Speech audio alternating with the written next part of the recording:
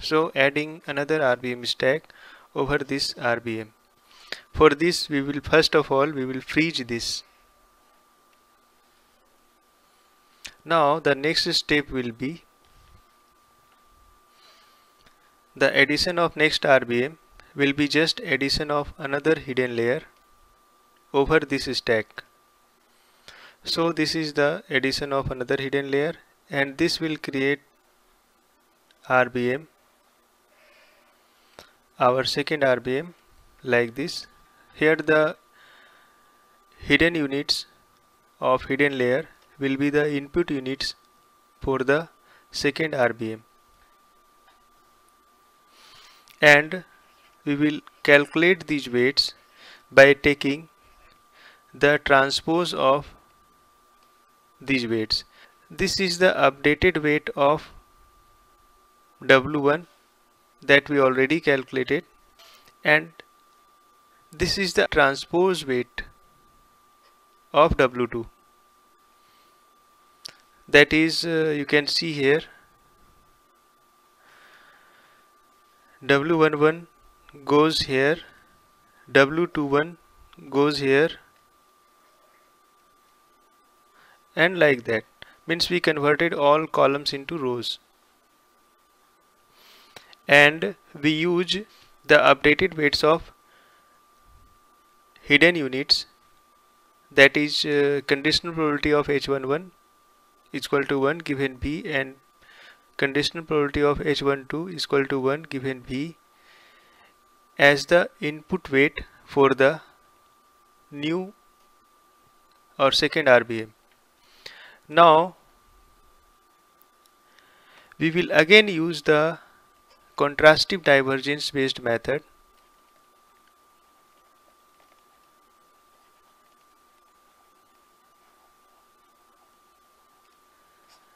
based method as discussed earlier as we discussed here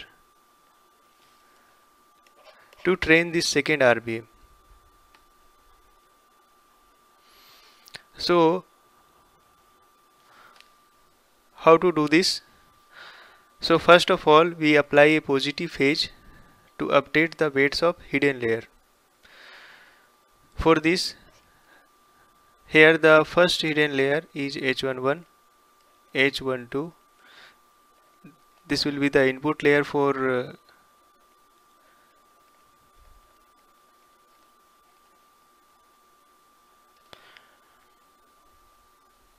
second RBM.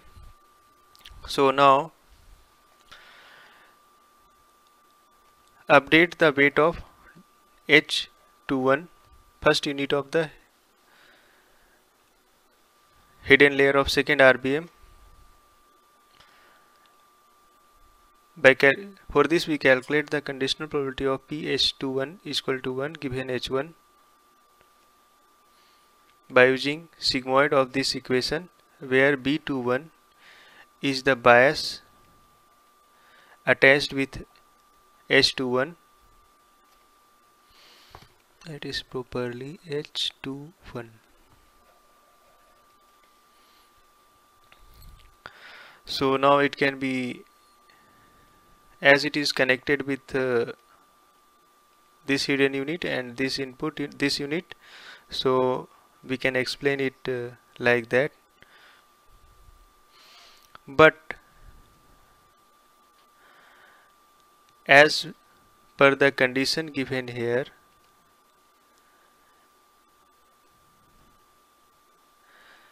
these units may not be related to this unit.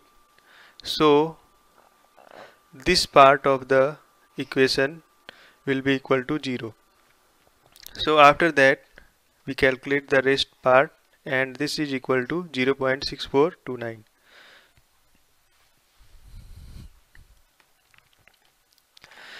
Similarly, we can update the weight of H22 by calculating the conditional probability of H22 is equal to 1 given H1 by using sigmoid of this expression which is equal to where B22 is the bias attached with uh, H22 and uh, it is already given 0.2 W21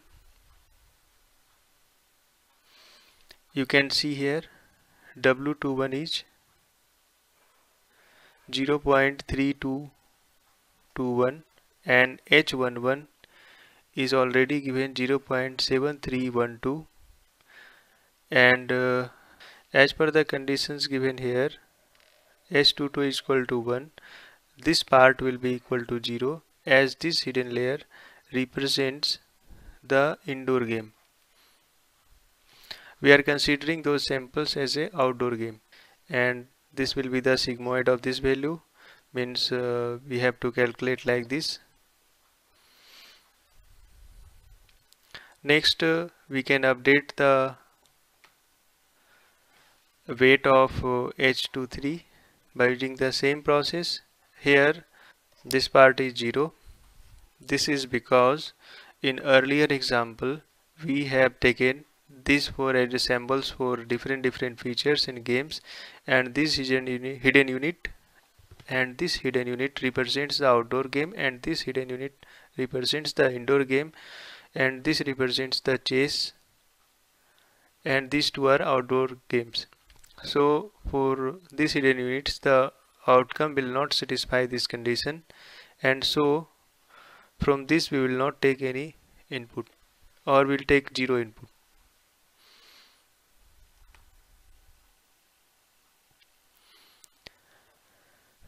Similarly, at a negative phase, we will update the weights of uh, hidden units back. So this is our H21. So now we will update the weight of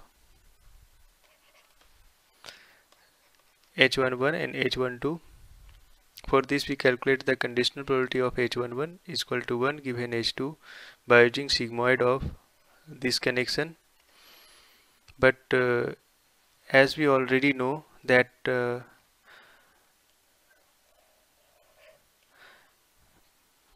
the condition H11 is equal to 1 will not satisfied by the inputs from this node or this hidden unit. So we will consider this part as 0 and here a11 is the bias attached sorry here a11 is the bias attached with hidden unit uh, h11 which is equal to b11 b1 and uh, which is equal to 0.2 so we consider it as a 0.2 that uh, we already taken here. In at the starting stage. So we are not changing any of the bias. We consider all the bias of upper layers same as the bias of previous hidden layer is equal to 0.5331 Similarly, H21 is calculated here, which is 0.6429.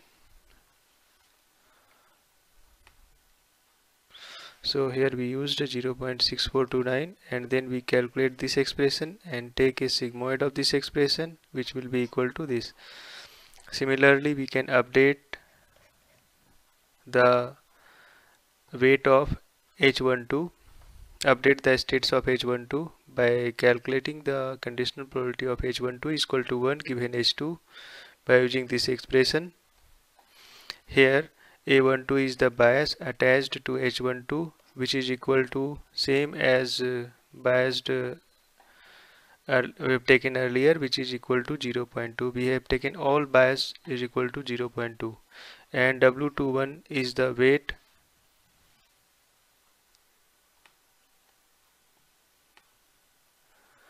and uh, W21 is 0.3221 W21 is the weight here.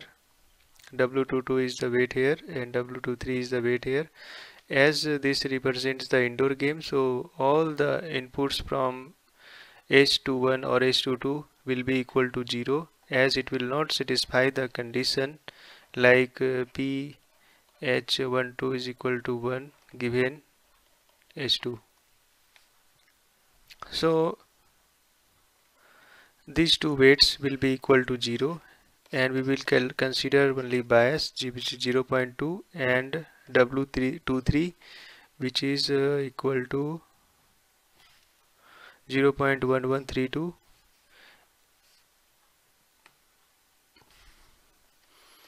and uh, H23 which is equal to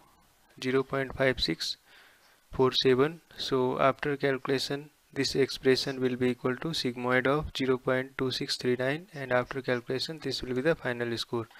So based on the scores as discussed earlier we will update the weight of here we will update this weight by using this formula. So updated weight of W11 in this case it will be equal to original weight of old weight of W11 which was 5331 you can see in this table W11 is 5331 so we'll use this weight. And L is the learning rate which is equal to 0.5 and H21 probability of H21 given H1 is uh, already calculated. And it is uh, equal to 0.6429 6429 and probability of H11 given H2 is already calculated here which is equal to 0.7126 so after calculation we will get the updated weight of W11 as this. Similarly we can update all such weights here and we will repeat it uh, several times. And after some iterations when we get some threshold accuracy we can stop here. So this is our updated weight of uh, for matrix W2 after several iterations. Now we will freeze this weight also. And now we are eligible to add another stack of RBM over this so here we added another stack of RBM which is uh, just uh, it contains two layers and represents the class. We can stop here and uh, treat the complete uh, RBM machine as a for our classification process. Here the hidden units of second stack of RBM is uh, treated as the input for third RBM stack. And rest of the process is same. We have taken used same process to take the transpose of the weight matrix. In earlier case to initialize the weight we will use the all the updates of uh, H21 H22 and H23 to feed the new RBM as input. So now let us re revise the entire training example entire training algorithm. So this is the summary of steps used in the recursive greedy training procedure for deep belief network. So first step was to feed the parameter of W1 of the first layer of RBM to the data as we did earlier here as we did here to initialize the our first RBM after that the next stage is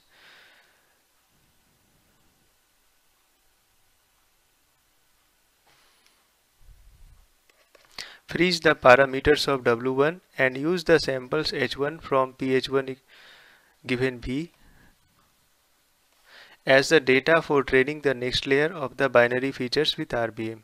Similarly, at the next stage, here we repeat the same process and freeze the parameter, vec parameter vector W2 that defines the second layer of the features and use the sample H2 from conditional probability of H2 given H1 as a data for training to to the third layer of binary features and we repeat recursively for the next layers. Now we can update the data by using another records like P2 and P3. After that, after the completion of the training, we apply a simple fine tuning process. So our fine tuning process contains three steps. In the fine tuning of the system, we do a stochastic bottom up pass and adjust the top down weights. Do a few iterations of sampling in the top down level of RBM and adjust the weight of top level of RBM. After that just return back and through a stochastic top down pass and adjust the bottom of weights. So we can understand this process by using this simple figure. So first of all we take a training data set which is not used which is not used and apply a bottom up pass and in that pass we can update the weights these weights till the above end and after that when we reach at this level our last stack of RBM we apply some recursion and again updates those weights. We consider this at output uh, layer and update these weights and then return back to these uh, to the visible units and uh, again updates those weights. This weight, up, weight updation is just a fine tuning process to readjust these weights. Actually the entire training of deep belief network is just a calculation of autom calculation of optimal weight of these connections.